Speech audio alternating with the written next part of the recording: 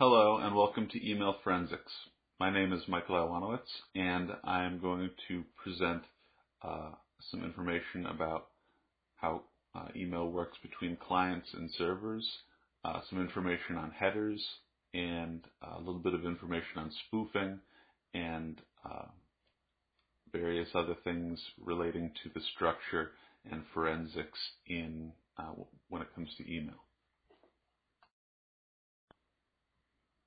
So the first thing that we'll go over is uh, various clients and servers. Um, and the, the, important thing to, to go with first is, is servers.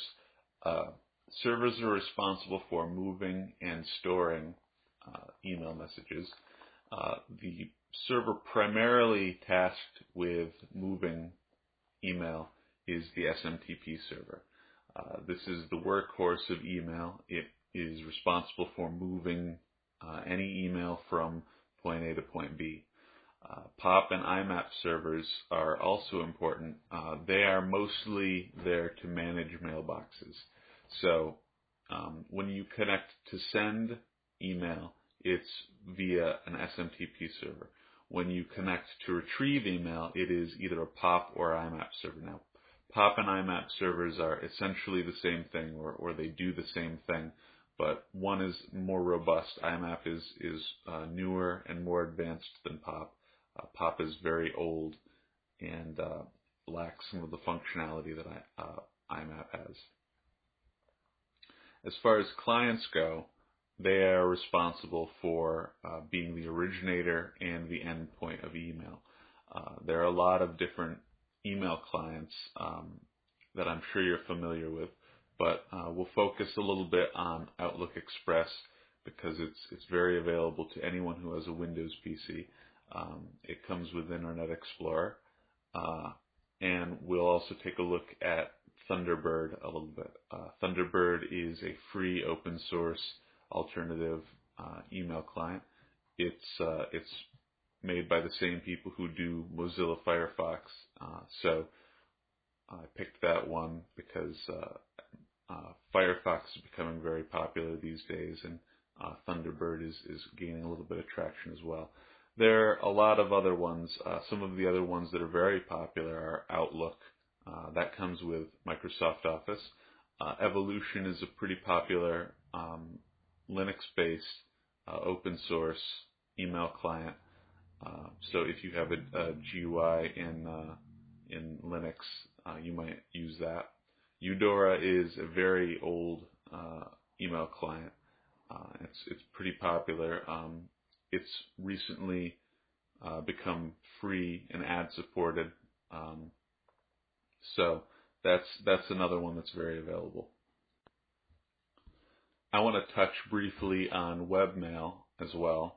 Um, web-based email has become a lot more popular uh, recently. Um, probably just about everyone has a Gmail or Yahoo account.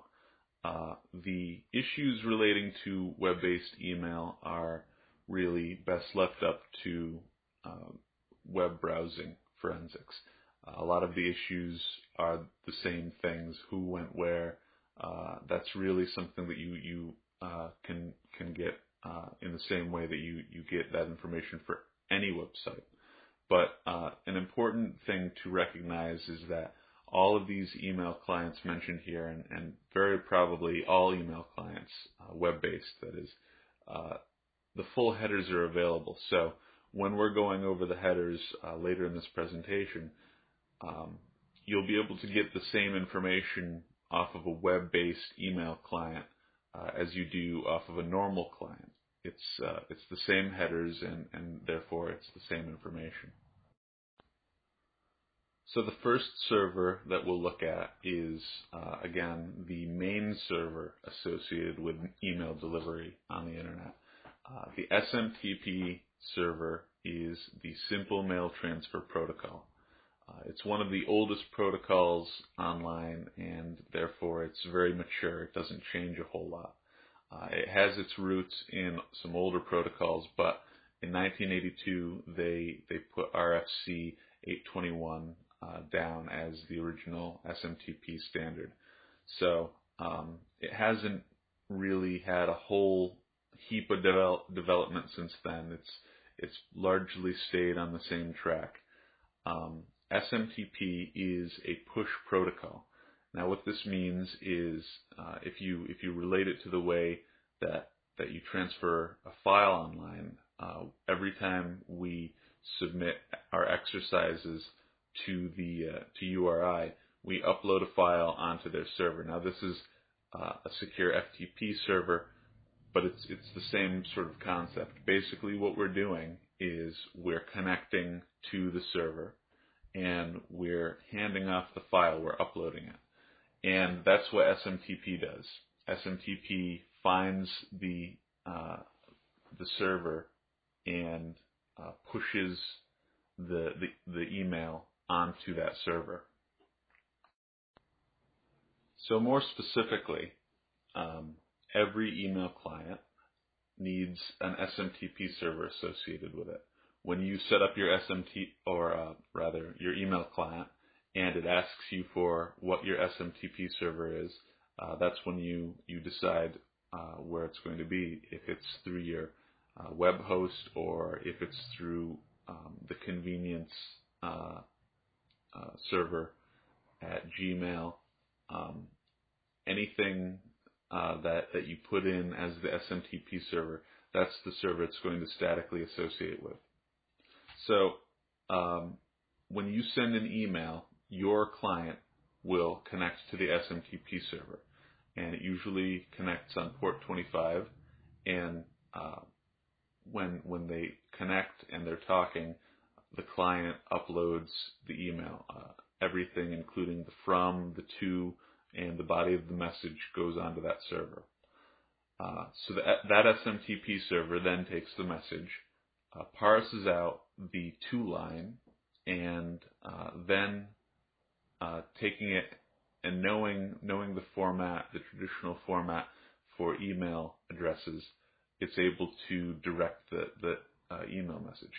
So this example, John Doe at yahoo.com uh, the SMTP server recognizes John Doe is the mailbox and that yahoo.com is the domain. So at this point, the SMTP server uh, recognizes the domain um, and uh, it knows that it isn't yahoo.com. Uh, we'll say it's comcast.net. Uh, so the SMTP server will check yahoo.com uh, just like anything else on the internet uh, against a DNS, and the DNS will tell it the IP address for that uh, that domain name, and so the the SMTP server then connects to the remote uh, Yahoo um, SMTP server again on port 25 and pretty much in exactly the same way as the client connected to the first uh, the first SMTP server.